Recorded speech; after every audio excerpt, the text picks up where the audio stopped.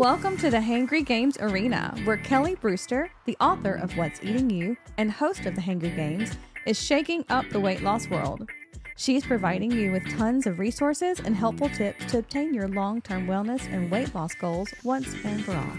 The Hangry Games is recorded and produced at Open Space Studios.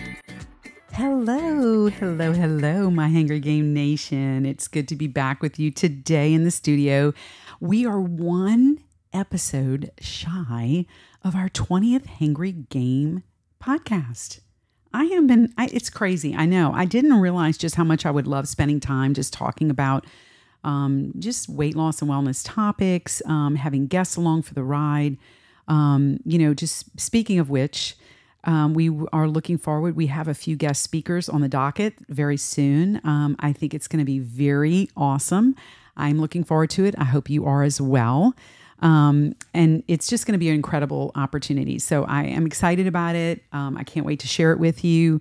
Um, but it's good to be back. Um, so today, um, I and well, getting before we start about today, I do want to tell you. I hope you worked on your takeaways from last week, and you've been working through your prep steps to becoming more proactive in your wellness and your weight loss journey. If you're not sure, you just picked up, maybe this is your first podcast. I don't know.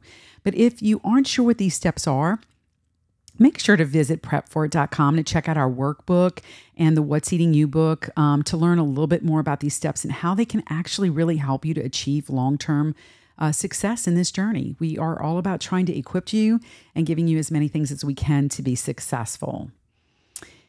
It's time to take all those dark, dusky secrets out of the dark and get them in the open and hit them head on. We've all done it. We hate to admit it, but we've all strayed a bit. What? That's right.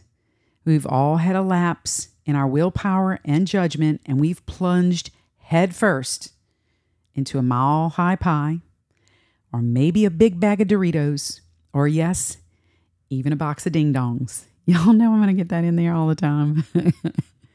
when I think about the dreaded cheat meals, and yes, you guys on audio right now, I did just do air quotes, okay? I can't help but think about the Friends episode. I can always relate something back to Friends episode. I mean, I grew up with it. So anything and everything, I immediately, there's an episode that comes into my brain. I'm like, oh, blah, blah, blah, blah, blah, you know, and it's, it just, to me, it's funny. But obviously, if you're in a generational gap as I am at my workplace, then, then some are kind of looking at you like, oh, yeah, really? That doesn't make any sense. Okay. but anyway, but there was a particular Friends episode where Ross and Rachel were on a break. And yes, I did the air quotes again. And Rachel was going over how her mother didn't think that they could patch things up. And she quoted her mother saying, Once a cheater, always a cheater. And so, yes, every time I hear that word, my mind does for a millisecond, it goes back to that episode. But more than, than that iconic sitcom, the word cheat immediately makes me think of what happens when someone has a lapse in judgment or willpower on their wellness and weight loss journey, or with anything else for that matter, right? The fact of the matter is, today I would like to change our mindsets, the paradigm per se of why we call it a cheat meal, and changing the focus to a treat meal instead. Cheat implies just that. Cheat implies doing something that is not right, maybe deceptive, for yes, a personal gain. In weight loss, cheat meals can be the catalyst by which all future bad choices are potentially hinged, right? So we want to fix that. We want to change that. We all know that food in and of itself is one of life's great pleasures. Yes, it does sustain us, but it unfortunately does mean so much more. Now, for my emotional eaters out there, this can be a very slippery slope that I want to help you navigate through. So, so many people, we may cut back on calories, we cut back on our carb intake, maybe there's certain types of foods that we eat, um, you know, ensuring that we can achieve this overall wellness and weight loss. But most will eventually find themselves visiting with the dreaded cheat meals. To me, and of course, this is just me, that word implies so much more when we say it. It implies that we are doing something wrong and that, for my emotional eaters, could trigger that emotional monster to toy with your brain and, of course, your stomach just a little bit, right? it does open up the opportunity to sway from your plan, sometimes far enough that we have trouble navigating our way back to reality and clean eating. And I really look, I I get it. Okay, remember, I was an emotional eater. You know my you know my testimony, you know my backstory there. And so I understand it. When you're following a very a certain type of restrictive diet, it is normal, okay? It is very normal to feel moments of deprivation, cravings, and even a true feeling of being hangry. That's right, air quotes again. this is all triggered when you know there are certain foods that are kind of off limits, you know? Let's face it, you do keto, you crave cake.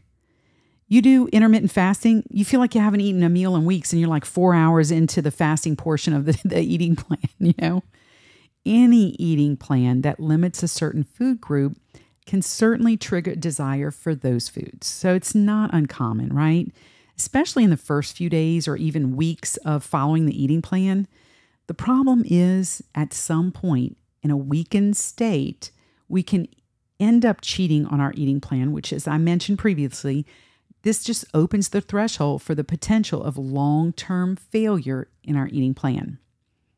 So here's the deal I propose a change. That's right. I am sick and tired of calling it something that makes us feel bad, that has the potential to trigger a negative emotion, and let that sucker, the emotional monster, out of his cage for a little fun. For this, from this point on, okay, we're calling the occasional diversion in our eating plan a treat meal. Yes, no longer will we be susceptible to the negative repercussions of an occasional variation to our current eating plan, but we are going to need to understand what we're doing, why we're doing it, and take the time to enjoy the moment. That's right, I said it. Now, who's in this with me? I know I'm hearing y'all. Y'all are all, yes, I knew, good. I love this one. I love this episode. That's what I thought. That's what I thought. So, to change the mindset of a cheat meal to a treat meal, we do need to talk about a few ways that we can address the scenic route, right, in our weight loss journey to avoid a major breakdown along the way. So we're going to look at seven ways that we can change on our like our view of this activity and how we can spin this into maybe a positive in our wellness and weight loss journey. So okay, first things first though, we need to know what we're doing and call it out for what it is. Now, my husband and I, we recently went to a local restaurant here. It's called Pardo's, literally one of my faves. And I, you know, had been doing really well all week. And um, when we made the plans to meet some friends for dinner, I literally told myself in the beginning of the day, I can't wait to enjoy this treat meal tonight. And when I do that, I'm understanding that this is a positive detour, allowing me to enjoy the moment, preventing any negative feelings after I consume the restricted food but I'm also trying to prevent further disruption in my weight loss plan. So let's think about this like a food vacation. Okay. This is just a little analogy. Do we take six weeks on vacation? I know, I heard it. I would love six weeks on vacation. Of course, we want to do that, right? We would love to do that until our American Express bill comes in and you realize you've got corporal tunnel from swiping your card like you were, you know, at a casino on the slot machines, right? realizing a treat meal is just that it is a small food vacation, like an overnight stay, allowing us to be able to stick to the eating plan for a longer period of time. It's like being on a running track and you're just stopping, you're taking a break, getting a sip of water, and then you're running on the track again. It's the same concept in a way, but you understand what I'm, ta- I'm saying. Overall, a treat meal is more for your mind than for your stomach. I know that sounds weird, but it's the absolute truth. Stick with me here.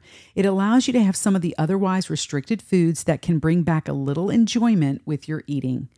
When done occasionally and monitored closely, this can actually be a very positive motivator for you. Now, this is some of these um, steps are based on an article written by Patrick Dale, who's a PT and he's an ex-marine. And he, he this is the article was in fitnessvolt.com and he reviews cheat meals and how to minimize their impact on your goals. So, we're going to look at those things that he talked about. And we're going to talk about how in the Hangry Game Nation we can implement these great strategies to create the treat meals in our lives. To understand the positives of a treat meal, we need to first discuss a few things that have the potential to literally make this a slip, trip, and a pitfall instead of a quick escape from the real world. Okay. So, most individ- individuals that attempt to have a cheat meal, we will find it very difficult to turn that hose of unrestricted eating off. It's like they turn the hose off and it's like a big fire hose and they can't really control it, right? And then that one restric- restrictive meal actually winds up binging its way through your entire day or maybe even the weekend. And a cheat meal is really just one meal or occasion that you are diverting from the normal routine eating plan. But again, remember we're calling this treat meals. Now, a great example of this is looking at what it takes, uh, you know, in order for you to understand, okay, one meal's one thing. But if I binge the rest of the day or I overindulge at that one meal, how's that really affecting me? I mean, is it really making that much of a difference, Kelly? All right, let me explain. A great way to t- kind of show you what this means is if it takes for one pound of weight loss, you have to have a deficit of 3,500 calories to lose one pound of, fat, of weight. Okay. If you unfortunately take your binge eating to the ex- extreme and you consume 5,000 calories at a sitting, you, my friend, are going nowhere really, really fast. In fact, you likely are going to pick up a few extra pounds. And then what happens? You get frustrated. And then what happens? It's almost like that positive feedback system again. So we're trying to prevent that, really. Now, another driving force for cheat meals is usually it's not a designated diversion, but it's a lapse in willpower and it's it needs to be labeled as such. It's a cheat meal. I mean, it is what it is. You had a lapse in willpower. This happens all too often, and many find themselves, unfortunately, doing it more than they should. When you detour from your eating plan and you binge a bunch of junk food, you need to call it for what it is. If it flops like a fish, if it smells like a fish, if it's got scales like a fish, it's a fish, my friend. And it's a cheat meal, okay? If it if it's a deviation from your plan and it wasn't something you planned, uh, then it's a cheat meal.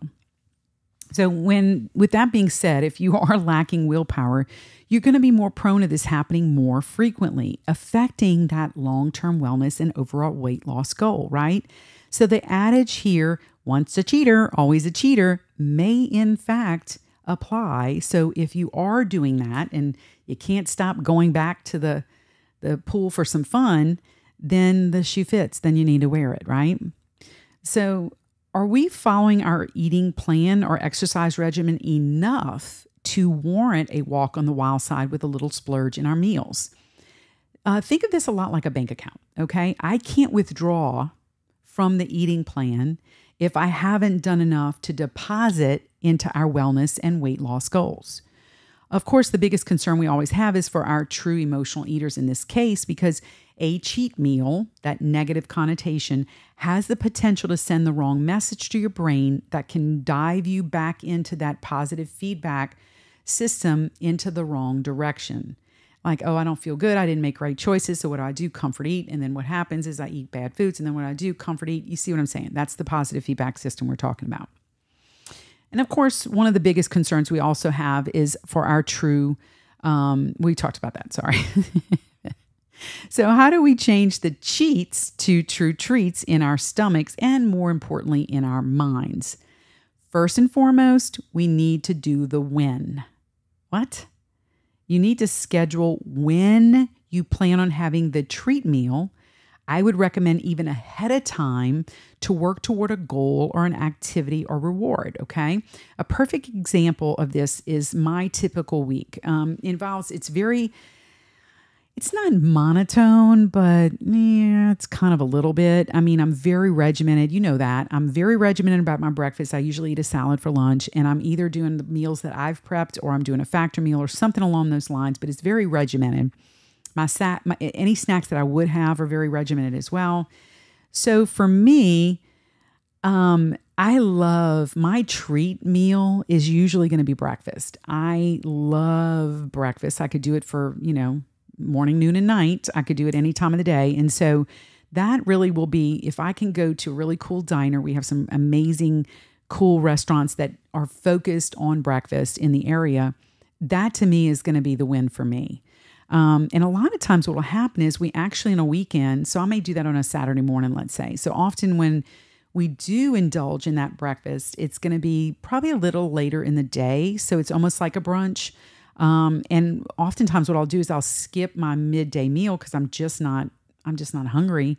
And then I eat a very sensible dinner or just maybe something very small. And that treat meal has not done any major damage to my weekly goals, which is amazing, right? So, a treat meal is just that it is a meal. It's not a weekend at Bernie's, okay? I mean, it is a meal. Make sure that you have a designated that treat meal with the time and the place so that you can enjoy the moment.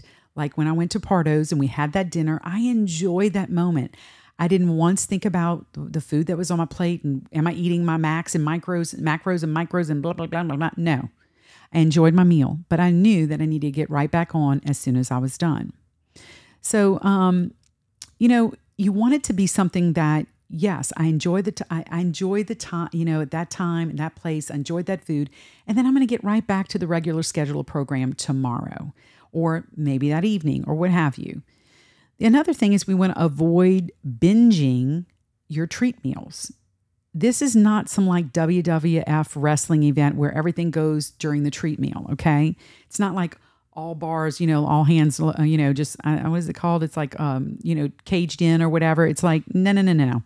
Um, you still need to make good choices, even with the restricted food you may find yourself being treated with always, and I mean always, stick with portion control, attempting to stay away from like buffets during this time. Or if you're going to go to a buffet, please make sure to make good choices there. Obviously, if you can do something protein heavy or something like that, but it's not like, okay, how many calories can I get in in an hour? That's not what we want you to do, okay? If you do decide to treat yourself at home, make sure that you don't buy the family size portion of what you're planning on treating yourself with. We do not need to be asking for trouble in this case.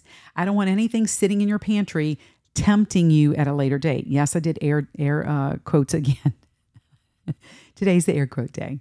Um, another great way to enjoy the treat meal, all while minimizing any major setbacks, is to attempt a workout or physical activity just prior to the treat meal. This is really cool because typically you are you're more insulin sensitive at that time. Your metabolic rate is on the rise during that time. It's all jacked up, right? And it's going to allow you to burn some of the excess calories that you're intaking with your treat meal.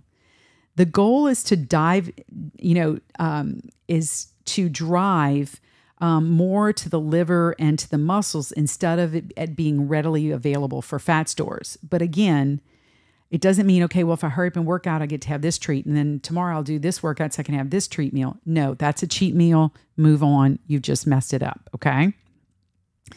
If you're not the strongest willed person in the room, I unfortunately don't have this issue, then having junk food in the house may be your nemesis. Okay. So, when attempting to enjoy a treat meal, if you just don't know if you're able to step away from the table at a reasonable time, then the best thing for you to do is to enjoy your treat meals outside of the home. Make sure your home is a junk free zone. And really, from a wellness and weight loss perspective, this should have already been done. I should be telling you old news. You should be already like, Kelly did, done, done it. Okay. Um, in this case, um, we don't want to be be anything like those little rodent friends of ours, the squirrels, you know, where they store up all those nuts for the winter um, so, in case we want a treat meal for later, no, no, no. Okay. Um, when we are at the point where we are thinking about another treat meal, when we're not even finished with this one, we need to go back to our prep steps and we need to think about if we've got some emotionally driven issues that we got to deal with there. Okay. So, another great question when determining your treat meal is to determine how often should you have a treat meal? Great question. I knew you couldn't wait for that one, right? A lot of this will be determined by how close you are to your weight loss goals, how much you're planning on losing, and if you are exercising excessively. All of these are questions that you need to ask yourself. Some people think that they can have several treat meals in a week, and if you're just starting out on this journey, that is probably not the best place to, place to be, right? That's not the plan that you need to have in place. I would recommend if you're just starting this journey, maybe a treat meal every two to three weeks, um, maybe one to two, it, depending on the exercise that you're putting into place, so that you can truly um, identify it for what it is. It's a treat, and it's not a frequent deviation from the the routine eating plan, which frankly is becoming a cheat meal. So we want to set you up for success. In doing so, you need to establish your eating plan first before we already start thinking about that next that first treat meal. Okay. Now, a great way to determine this is to figure out where you are in your journey. Now, if you have just started this in the last two weeks, um, week or two, I would venture to say you're not ready for a treat meal. I'm sorry, but it's the truth.